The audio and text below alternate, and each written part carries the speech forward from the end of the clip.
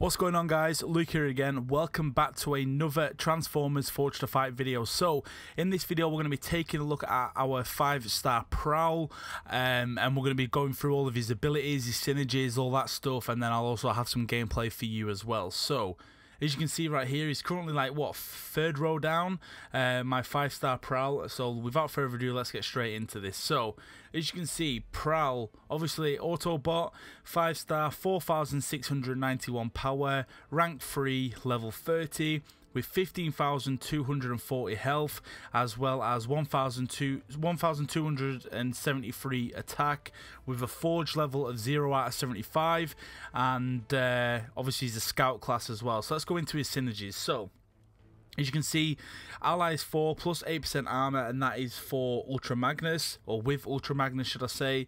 We then have Code 12 Reckless, Reckless Driving, so we get a plus 24% attack buff for 3 seconds when using a heavy attack. Stacking those buffs refreshes the duration of the entire stack, so that is obviously with. Um, Sideswipe, Hot Rod, and also Mirage.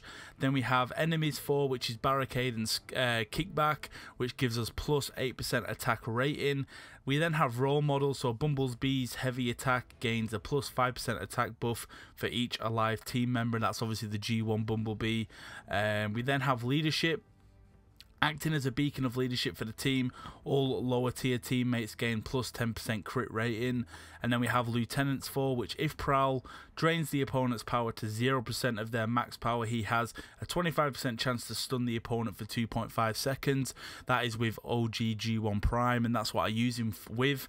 Every time I use Prowl, G1 Prime is always there for the chance to stun, uh, which is amazing. We then go into his signature abilities, which as you can see is Good Cop, which is his passive. Uh, currently got it at level 10. It says after charging his melee buffs, Prowl gets 1.9% power for each melee buff activated. We then have his other abilities, which you will be able to see here. Suppression, power burn, range buff, and then we have all all these words here and all these numbers if you want to go into detail with all those.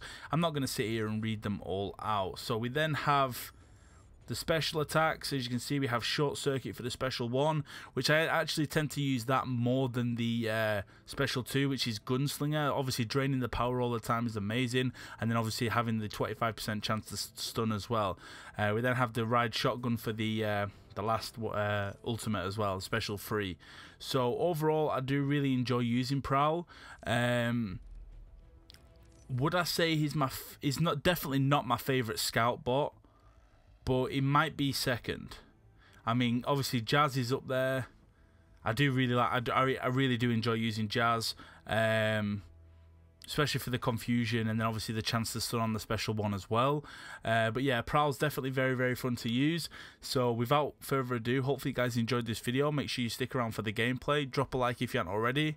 Subscribe if you haven't already, and I will see you all in the next one. Peace.